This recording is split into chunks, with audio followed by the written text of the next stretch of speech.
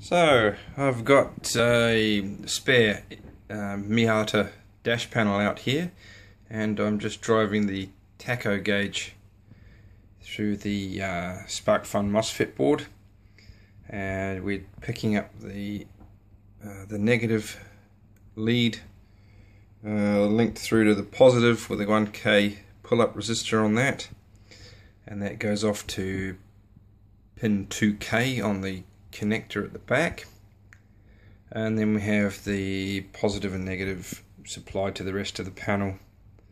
So hence you can see the uh, oil pressure gauge with no fascia on it at the moment but uh, that's operating as well. Um, so the SparkFun board is powered straight from a computer power supply. And that actually powers the Arduino at the same time so the thing's completely isolated from the computer at the moment, just programmed and running away. So what we can see here is a rather interesting feature.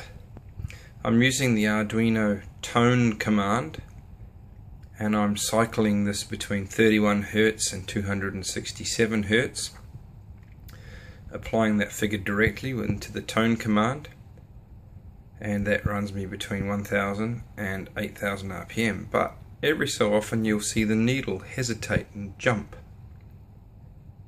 And uh, I'm at a bit of a loss to explain that, so if anybody out there has some good ideas, please let me know in the comments.